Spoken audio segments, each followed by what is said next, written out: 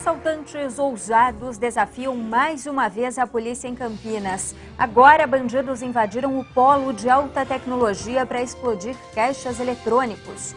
Região tem seis cidades entre as 30 com maior média de renda por domicílio do país.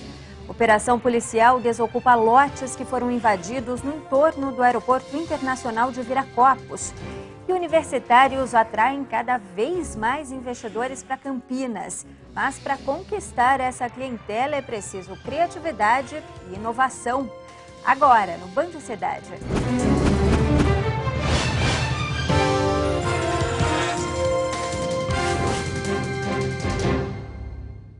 Boa noite.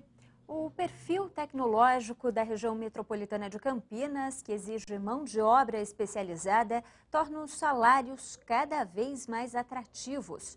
Segundo o IBGE, seis cidades daqui estão entre as 30 melhores do ranking nacional de renda mensal por domicílio. Valinhos viu crescer nas últimas décadas o número de condomínios residenciais. Os empreendimentos estão espalhados pela cidade, alguns em construção. Eles revelam o perfil da renda de parte dos moradores. Segundo o Instituto Brasileiro de Geografia e Estatística, Valinhos é o nono melhor município do país quando o assunto são os ganhos mensais por domicílio. O valor chega a R$ 4.900, número superior ao de capitais como Porto Alegre, Curitiba e Belo Horizonte. Na vizinha Vinhedo, o perfil e os resultados são parecidos.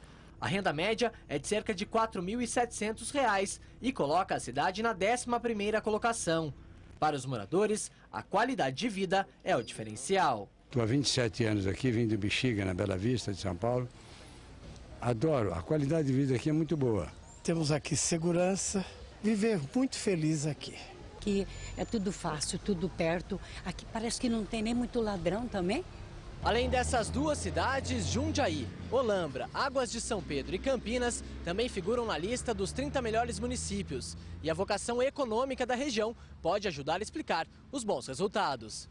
Por causa das indústrias de alta tecnologia, a mão de obra é especializada, o que impacta na renda são grandes empregadoras e não apenas grandes empregadoras, costumam empregar uma mão de obra altamente qualificada. Bom, em decorrência, a mão de obra altamente qualificada acaba exigindo no mercado salários mais altos. E nós temos isso aqui na região, inclusive em função das muitas universidades e polos de pesquisa aqui instalados. Outras cidades também aproveitam do grande número de indústrias na região. Servem de apoio logístico ou de moradia para os funcionários. Muito comum você ter alguém morando em Valinhos, trabalhando em Campinas, por exemplo, e, e lógico, usando parte de sua renda em outras cidades, inclusive aqui na, na, na região, em lazer, em educação, eh, enfim, no seu dia a dia. Então, uma operação policial desocupou hoje vários lotes que foram invadidos no entorno do aeroporto de Viracopos.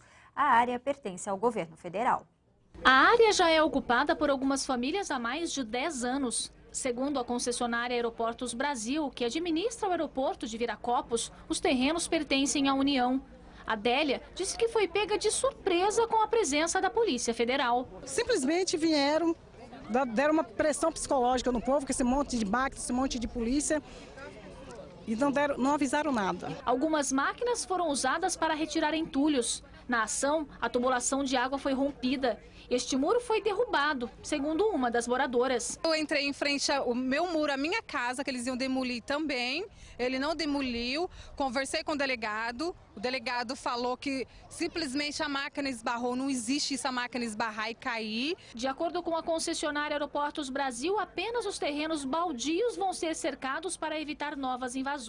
A área fica às margens da rodovia Santos Dumont. Estes receberam postes para que posteriormente seja instalado o alambrado. Foram colocadas placas indicando que é proibida a construção de casas nesses locais. Se querem reintegrar posse, querem a área, que indeniza as pessoas com dinheiro para eles morarem aonde eles quiserem, entendeu? Não tem, nós não somos contra o progresso, nós não estamos aqui para impedir. Eles querem a área, vem pega a área, mas pega cada família indeniza todos eles, porque tem pessoas aqui que às vezes deixou de comprar remédio prédio para comprar um saco de cimento, para comprar uma telha, para cobrir a casa. Segundo a concessionária, a situação dos moradores e das casas já construídas será discutida na Justiça Federal e no Ministério Público Federal. Assim que a polícia e representantes da concessionária deixaram o bairro, os moradores derrubaram os postes e as placas que foram colocadas nos terrenos. Bom, durante a tarde houve uma reunião entre representantes dos moradores e da concessionária Aeroportos Brasil. A empresa reafirmou que vai discutir na justiça o destino das casas que já foram construídas. Informou ainda que o terreno vai ser usado para a expansão do terminal aéreo e que qualquer tipo de habitação ali coloca em risco a segurança dos moradores. E a polícia está à procura da mãe que jogou um feto em um terreno baldio de Valinhos. A denúncia foi feita por uma moradora na noite deste domingo. O crime aconteceu em Valinhos, aparentemente poucas horas depois que a mulher deu à luz. A criança foi encontrada nesta estrada de terra que dá acesso à rodovia Anhanguera. Já sem vida, o menino de cerca de 40 centímetros estava dentro de um saco plástico. Foram vasculhar eh, aquele entulho e acabaram encontrando é, um feto dentro de um saco plástico. Já estava em plena formação, com cabelo, é, cabelos pretos, é, o corpo pele branca e também foi encontrado a placenta em um outro, um outro saco plástico. Um inquérito foi aberto e a polícia já está à procura da mãe. Os centros empresariais são os mais recentes alvos de criminosos na região. Neste domingo, homens armados invadiram o polo de alta tecnologia em Campinas para explodir caixas eletrônicos. Foi a segunda ação nesta unidade em menos de dois meses.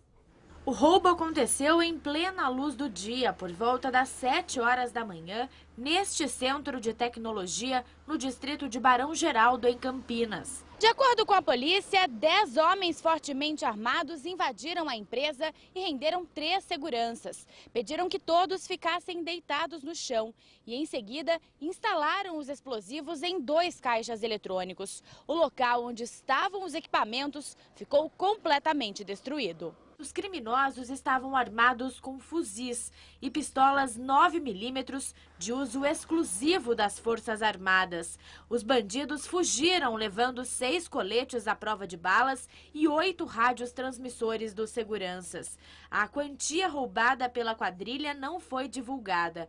A polícia encontrou R$ 26.810 em notas que ficaram espalhadas pelo local e 280 reais em cédulas danificadas na explosão. Os criminosos deixaram para trás este fone de ouvido. No acessório havia marcas de sangue. Foi requisitado aí um, um laudo né, do IC para ver se é mesmo sangue. Se, o, se for o caso sangue, é, fazer exames para comprovar o tipo sanguíneo. Esta não é a primeira vez que este tipo de ação acontece no Centro de Tecnologia. No início deste ano, cerca de 11 homens fortemente armados entraram na empresa, renderam os vigilantes e explodiram três terminais bancários. Eles conseguiram fugir com o dinheiro. Os seguranças não sabem dizer se esta é a mesma quadrilha responsável pelo roubo anterior. Nenhum foi reconhecido pelos vigilantes mas é possível. E veja daqui a pouco, Polícia Federal volta a ter problemas com o sistema para emissão de passaportes.